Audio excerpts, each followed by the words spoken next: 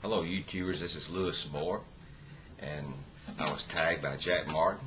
I'd like to tell you five things about me, uh, some of the things you probably don't know. And the first thing about me is um, 1972. I was a part of this uh, Explo 72 in Dallas, Texas. Uh, that's where I gave my life to the Lord. But uh, prior to that, I learned how to play guitar, I guess, when I was in about the eighth grade.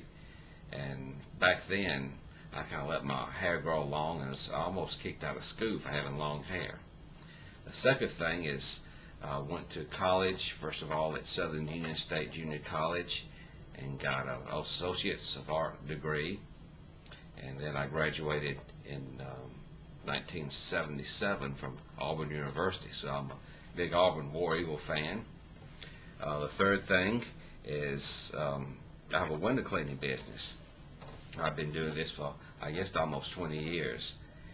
And I, I guess I have about a 120 windows that I do every month, uh, small businesses. And in addition to teaching guitar and also uh, teaching school at Dawson Street Christian School.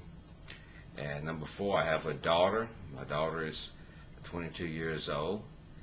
Her name is Liana, and we're real close. And then number five, my wife is Donna. We've been married for, I guess, um, about 20, about 23 years. And we met in Thomaston, Georgia. I was singing at a church there, and uh, that's how we first met. So I just like to share that with you, and God bless you. Hope you had a lot of wonderful experiences in your life as well.